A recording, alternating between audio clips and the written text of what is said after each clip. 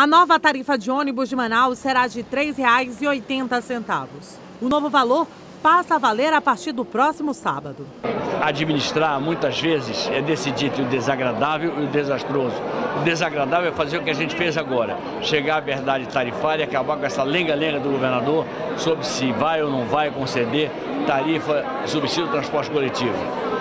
E segundo, o desastroso é fingir que não está vendo o problema, daqui a pouco a casa cai. Nós não vamos deixar falir o sistema de transporte coletivo, porque dele dependem um milhão e tantos mil manauaras. O anúncio foi feito nesta terça-feira pelo prefeito Arthur Neto, durante entrevista coletiva. O novo reajuste, chamado de Tarifa Melo, foi estudado pela prefeitura após o governo do estado retirar os subsídios concedidos ao transporte público, que foram retirados após o reajuste da passagem para R$ 3,30 a menos de um mês. E com isso nós vamos ter 200 ônibus novos neste ano, vamos ter a intranet nos ônibus, vamos ter Wi-Fi nos terminais, uma série de medidas e outras serão anunciadas de absoluto controle do sistema por parte da prefeitura virão e no final o povo acabará compreendendo que nós não tínhamos alternativa, a não ser que arcássemos com impossíveis 100 milhões de reais de subsídio e nós não temos e não tendo a companhia e a parceria, o companheirismo do governador,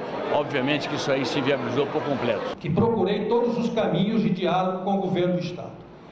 Infelizmente, o governador não demonstrou eh, nem um pouco de boa vontade que fosse, por menor que fosse, de tentar, através do diálogo, a gente buscar um entendimento que não é um entendimento para mim, não é um entendimento ao prefeito, mas um entendimento ao sistema de transporte público. Por isso que é nós, com base nos dados, nos elementos, nos custos, nas informações, não restou outra alternativa a não ser reajustar a tarifa e passá-la sem subsídios a R$ 3,80. A tarifa estudantil não será reajustada e permanecerá congelada no valor de R$ 1,50.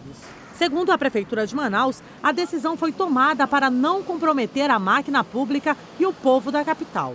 Teríamos que arcar com isso ou com um subsídio de 100 milhões de reais, que ia sair na conta e nas costas do nosso povo. Infelizmente, a insensibilidade do governador José Melo, razões pessoais, pequenas, mesquinhas, fizeram com que ele, achando que me punia, partisse para punir os usuários do transporte coletivo. O anúncio da nova tarifa aconteceu após o fim de mais uma paralisação que os rodoviários realizaram na manhã desta terça-feira.